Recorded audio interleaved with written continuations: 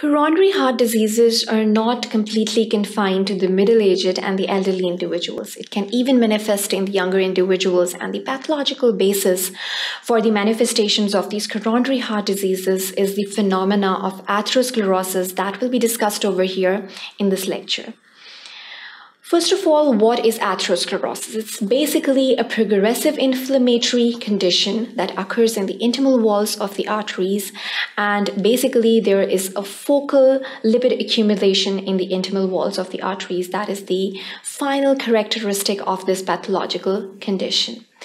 And then we'll be discussing the etiological basis behind this particular pathological phenomena that is occurring. What are the uh, causative factors that uh, base the make the formation, make the foundation towards the development of this atherosclerotic plaque formation? And then we'll move on to the pathogenetic phenomena. Obviously, there is a sequence of events that occurs ranging uh, from the monocyte emigration, then finally the monocyte addition, and then the formation of the macrophages uh, laden that are laden with the lipids, which are also known as the foam cells.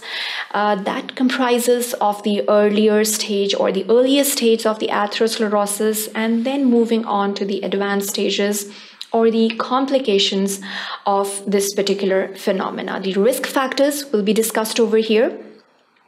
The, uh, the risk factors are basically making the person more prone to development of this disease processes. We have uh, categorized these risk factors into the fixed and then we have the secondary risk factors. The first uh, risk factors include the age, the gender, and the familial predisposition of the individual. And then the secondary risk factors mainly include the lifestyle, the obesity, uh, the systemic complications, for example, the presence of hypertension and diabetes in the individual, uh, which are basically making the person more prone to the development of this disease process, or uh, it can basically advance into the complications, or which is basically the advanced stage of this disease process uh, which is highlighted through the clinical phase of this particular uh, phenomena. Thanks for watching and to get a uh, to watch the complete lectures, get a complete access.